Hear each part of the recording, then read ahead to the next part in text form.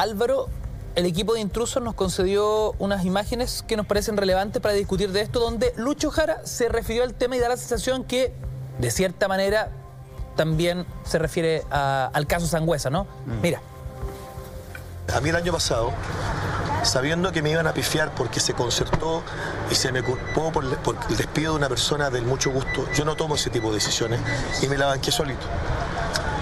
A mí me sugirieron no ir a recibir la pifia y yo fui. Si no hubiese ido, hubiese sido un cobarde.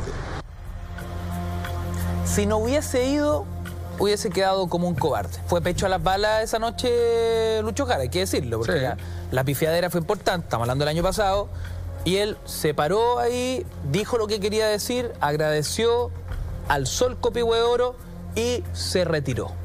Yo no estoy de acuerdo con Lucho Jara cuando dice que esto se maquinó. No sé a qué se refiere y lo, lo volvió a repetir ahora. Aquí no se ha maquinado nada en contra de él. Eh, lo que recibió fue y nació por parte de la gente. La verdad que yo, este capítulo ya, me- ya me tiene como medio aburrido, Ignacio, de verdad. Yo hace rato que bajé la cortina respecto a este capítulo porque la gente después vuelve a decirte en las redes sociales, yo soy muy Twitter, sé que el Twitter es muy agresivo. Es que esto revivió Álvaro en la, guía hace poquitos días, Y ese es el tema. sociales, y le llama la atención que haya, haya pasado todo un año y se esté recordando el tema que te, que te involucra, fue justo tu salida. Yo, yo no, yo no concuerdo, pregunta. yo no concuerdo con Jara en cuanto a que dice que se maquinó. Yo, eh, él es el patrón de fondo en mucho gusto, hijo. Perdona que te lo diga. Decide en muchas cosas. Está el productor ejecutivo y también está la opinión de él. Entonces, que, que no venga así a- nada, eh, yo creo que estuvo mal el equipo del Mucho Gusto y debió haber ido a recibir el premio. Y esto de la maquinación, que lo escucho por segunda vez, no sé de dónde sale.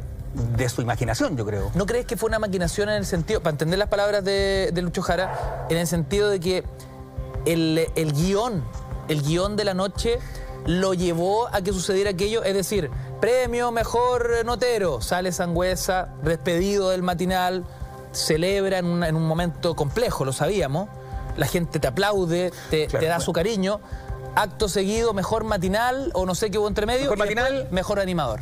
Mejor matinal, Sangüesa, mejor animador. Exacto. Así fue. Hubo un guion que empuja la situación a aquello. Pero la cuarta es... ¿Se referirá a eso, Lucho Puede ser, no, no sé, no ha sido claro en eso. Pero la cuarta puede hacer lo que quiera, el show es de ellos y yo creo que si le pueden sacar más punta al lápiz, eh, es así.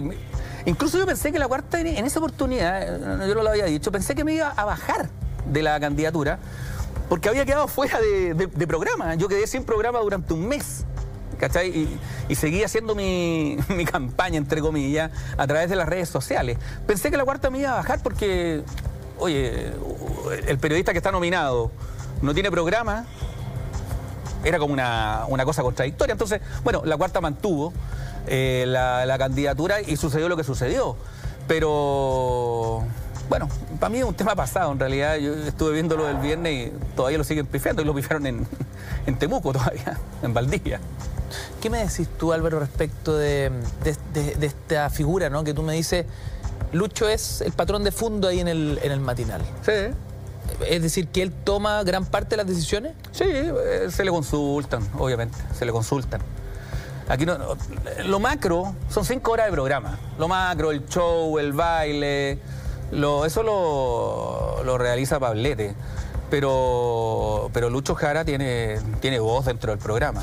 ¿Sabes por qué te lo pregunto? Porque hoy en día da la sensación que es muy difícil, la televisión ha cambiado, es muy, Muy difícil, que el que está en este lugar, el conductor de un programa, tome la decisión de eh, que un panelista se vaya, que un notero deje de trabajar. Entonces cuando tú me dices patrón de fondo, me la dejáis ahí como boteando, ¿no? Es decir, cuando no- se le achaca a Lucho Jara en esa pifiadera como que él tuviese echado del programa, ¿qué es lo que me queréis decir cuando él es patrón de fondo? No, que toma decisiones dentro del programa. No estoy diciendo que él eh, haya tomado la decisión para que me despidieran. Eh, yo pienso muy internamente ¿Tiene esa potestad? que a lo mejor que a lo mejor tuvo incidencia, pero no fue el de la decisión principal. Yo creo que el de la deci- decisión principal fue fue Pablete, fue Pablete. Y nada, uno cuando Que el jefe, digamos. que el jefe, cuando, cuando uno lo despiden, uno no pide mayores explicaciones, entrar como en un, en un momento de, de- de golpe. eh, y nada, te parás y te vas nada más. pues, Y, y sucedió así. A mí me despidió un, un editor y, un- y el productor general. Pablete estaba de vacaciones, fueron, fueron días de feriado. eh, me despidieron un 28 de octubre, después justo coincidió un 1 de noviembre feriado. Y pasaron cuatro días desde que me despiden hasta que ellos vuelven al aire. Y nada. No, no, es fácil, ¿eh? no es fácil digerir ese- esa, esa situación en un programa donde te sentís tan identificado, donde te ganaste un espacio. No te hacías la pega en definitiva, porque uno puede ser criticado por hacer la pega bien, por hacer la pega mal, pero tú tratabas de hacer bien tu pega. Yo por lo menos trataba de hacer bien mi pega, iba, iba a trabajar todos los días, llegaba un cuarto para las 7 de la mañana al canal y partía mis móviles y andaba 7 horas arriba de la van y dándole, generando, tratando de